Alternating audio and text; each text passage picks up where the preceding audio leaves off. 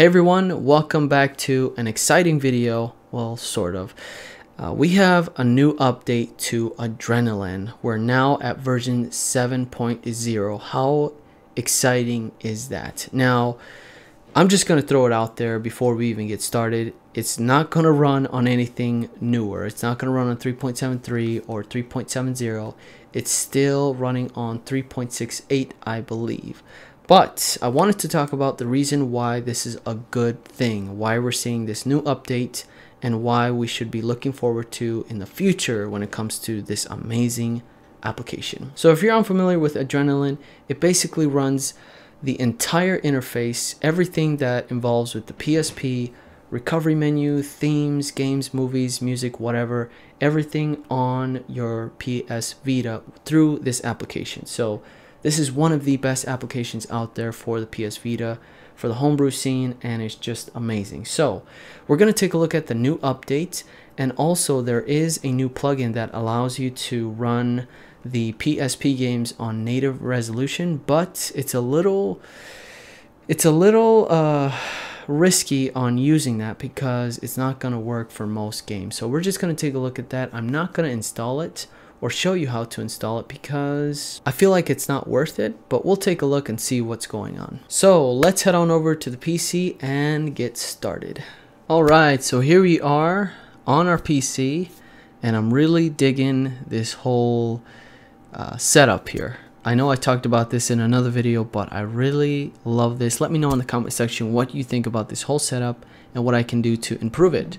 And before we get started, thank you so much for Alejandro Bautista for subscribing and we surpassed 17,400 subscribers and big shout out to you under like fish sticks for the $5 super chat. Thank you so much. That is our latest donation to the channel. And we will be having some merch coming in pretty soon, so stay tuned for that. We're going to be having some PSP adapters and the PS Vita adapters custom with logos and stuff like that. I think is going to be really cool. So, Adrenaline has a new update version 7. Exciting, sort of. Uh, the reason why it's exciting is because they're continuing to update this app and work on it. So, there is very strong, very, very strong hope that one day it will be working for 3.73, which a lot of you are on. And they're still haven't cracked that yet, but hopefully they will in the future. Now, I'm not going to be updating to version 7 because I think it's just not worth it to go through all that just to have the ability to use this plugin, which I'll be talking about here in just a second. And big shout out to Retro Jeremy for letting me know about this update. Let's head on over to the desktop and take a look at what this plugin is all about. Now, I was going to cover this plugin in a video, but I didn't really like what I was reading. And I don't like to be a guinea pig, right? I don't want to go through uh, problems.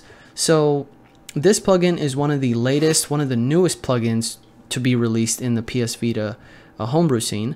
And this was initially commit, let's see, initial commit, comet, comet, comet, don't know how to pronounce that, but this was released 12 days ago and there has been a lot of changes, a lot of fixes because we're at version 0.18.1. You can see all the different changes there. Interesting. So in basic language or terms, it just allows you to have the PSP games and PS1 games look a lot nicer. I'm not sure about PS1 games, but for sure the PSP games. Now, as I'm reading, it says right here, this is an experimental plugin for Adrenaline experimental. I would be very hesitant on trying this plugin out and just be very careful when messing around with all these different new homebrew plugins, etc. There is a full spreadsheet where they show you all the games that they've been testing and from the community they give their uh, notes as well. And this is a whole Google spreadsheets. We have like 36 people or 41 total viewers it looks like constantly uh, going through here.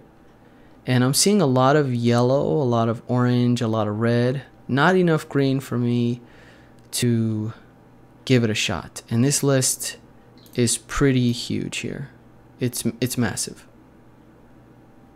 And I don't want to really go through the time and you know, going through all that just to see if something might work.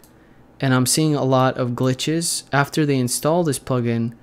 They're starting to see issues with these games. So if your adrenaline is running perfectly fine, don't even worry about it. I wouldn't even worry about uh, having the native resolution until it's fully developed, fully complete, fully working. The new update to Adrenaline, which is version 7, just allows you to run the new plugin. So the new uh, patch or the new GE patch version 0.18. And you have to update to Adrenaline version 7 in order for you to use the latest version of that plugin. As you can see here, it says move native display buffer to a different location so GE patch works for some more games, which is good. Please note that only GE patch version 0.18 or above will only work.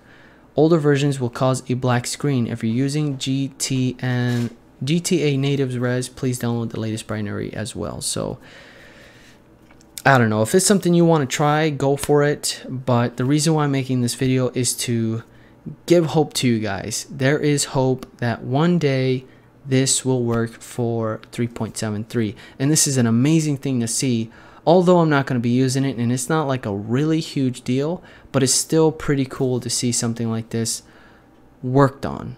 It's, they're still updating it. They're still trying to mess around with different things like updating to native resolution. That is really cool. So I'm really excited to see what else we're going to be looking at with Adrenaline. Hopefully we'll be getting the update that everyone is looking for. And I'm not saying that this update sucks or this update is not worth your time or whatever. I'm just saying that for me personally, I wouldn't try it just cuz just for one plugin to update it to the latest. I mean, if you're like I said, if you have an adrenaline that's working perfectly fine, there's no reason for you to update to the new version. So uh, I did comment to Retro Jeremy saying, hey, I'm not going to make a video on it because there's just not enough features, not enough updates for me to cover in a video. But here we are covering it and like I said I wanted to let you guys know about every single update when it comes to an amazing application like Adrenaline. So I'm here making this video giving you guys the updates to everything that happens in the homebrew community when it comes to the PS Vita which I love so much and I know you do too. So hopefully guys cross your fingers and we'll get that update that we're all looking for. Well most of you on 3.73 and you're just not able to downgrade or you just don't want to go through that uh, pain, which is not really that difficult. And I will be coming out with uh, a really extensive step-by-step -step guide on how to hack and downgrade your PS Vita 2000. So it's going to be a really chill video. It's not going to be fully edited. It's going to be very paced, very slow paced. And that way you can take your time going through and understanding all the different issues and problems you may come across when going through the entire process of downgrading, hacking, whatever. So that is it for this one, guys. Thank you so much for watching. Any comments, leave them down below. And make sure to give this video a thumbs up. It helps me out with the whole YouTube algorithm.